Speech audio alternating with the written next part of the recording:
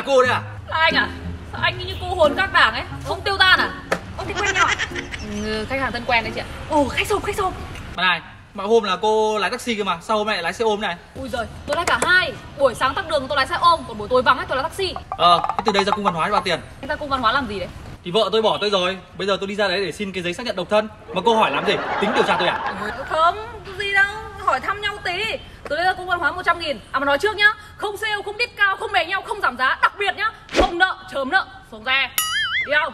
Ờ đi Ôi này anh Đừng vội đừng vội Nếu anh cảm thấy quy tắc bên này ấy, nó khó khăn quá ấy, Thì sang dịch vụ bên em Bên em sẽ giảm giá 10% Là bao nhiêu 90 nghìn thôi anh ạ Đây, đây, đây, đây. Chị cấp khách của tôi đấy à? Ai tốt hơn của anh Chị em với nhau Ăn chung một củ cà rốt Hút chung một điếu cày còn được Dịch vụ ai tốt hơn thì đi người ấy Anh đi với em